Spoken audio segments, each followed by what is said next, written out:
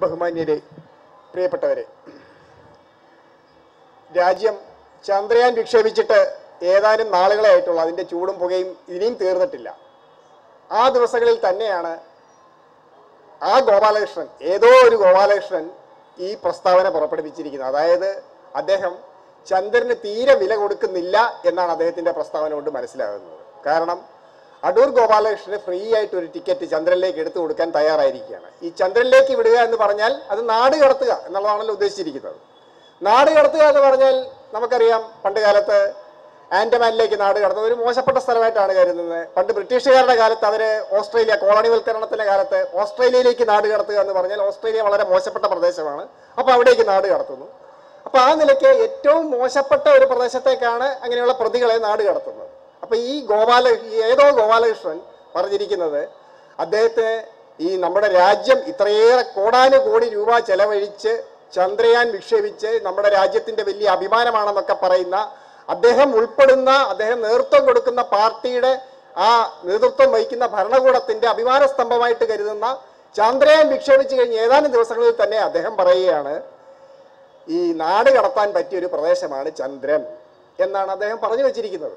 ശ്രീ അടൂർ ഗോപാലകൃഷ്ണൻ ഒരു ഫ്രീ ടിക്കറ്റും കൊടുത്ത് അങ്ങ് നാട് കടത്തിയേക്കാം എന്നൊക്കെ പറഞ്ഞിരിക്കുകയാണ്.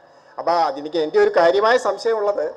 അദ്ദേഹം ഈ പറയുന്ന ബി ജെ പിയിലുള്ള ആൾ തന്നെയോ എന്ന് എനിക്ക് സംശയമുണ്ട്. കാരണം ബി ജെ പി വിമത സ്വരത്തിലാണ് അദ്ദേഹം ഈ കാര്യത്തിൽ സംസാരിച്ചിരിക്കുന്നത് എന്നാണ് ഞാൻ വിശ്വസിക്കുന്നത്. എന്തായിരുന്നാലും ഒറ്റ കാര്യം ഞാൻ കൂടുതൽ ഇത് നീട്ടുന്നില്ല. ഒറ്റ കാര്യം മാത്രമേ ആ ഗോപാലകൃഷ്ണനോട് പറയാനുള്ളൂ. അല്ലയോ ഗോപാലകൃഷ്ണ താങ്കൾ നാട് കടത്താനാണ് ഉദ്ദേശിക്കുന്നതെങ്കിൽ ഈ ചന്ദ്രൻ പോരാ ചൊവ്വ പോരാ ബുധൻ പോരാ അല്ലെങ്കിൽ വ്യാഴം പോരാ ശനി പോരാ ഈ സൗരയൂഥം ഒന്നും പോരാ. കാരണം ഇവിടെ ഈ സായനത്തിൽ വന്നുകൂടിയിരിക്കുന്ന ഇവിടുത്തെ ഈ ജനവും നമ്മുടെ ഈ പ്രകടനത്തിൽ പങ്കെടുത്തിരിക്കുന്ന ആളുകളുടെ എണ്ണവും ഒക്കെ വെച്ച് അതൊക്കെ ഒരു സൂചന മാത്രമാണ്.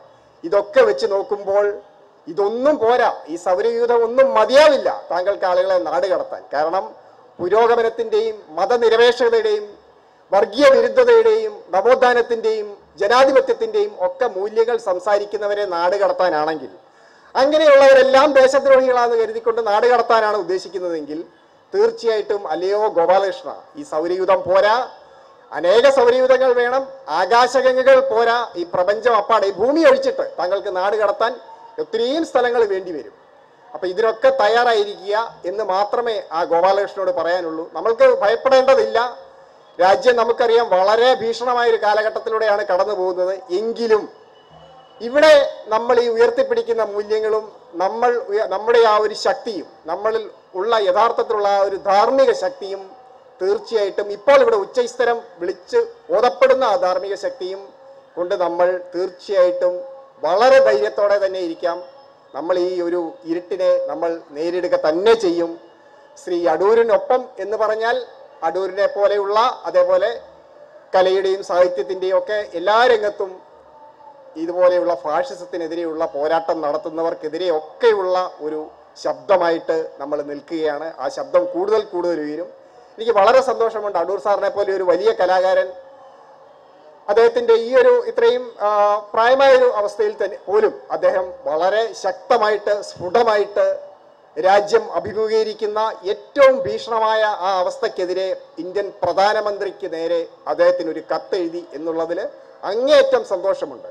അദ്ദേഹത്തിന്റെ കലാസപരിയേക്കാൾ തിളങ്ങി നിൽക്കുന്ന രീതിയിൽ അദ്ദേഹത്തിന്റെ ഈ ഒരു പ്രവർത്തനം നമ്മുടെ മുമ്പിലുണ്ട്. അത് നമ്മൾക്കെല്ലാം പ്രചോദനമാകും എന്ന് വിശ്വസിച്ചുകൊണ്ട് എന്റെ വാക്കുകൾ നിർത്തുന്നു. നന്ദി നമസ്കാരം.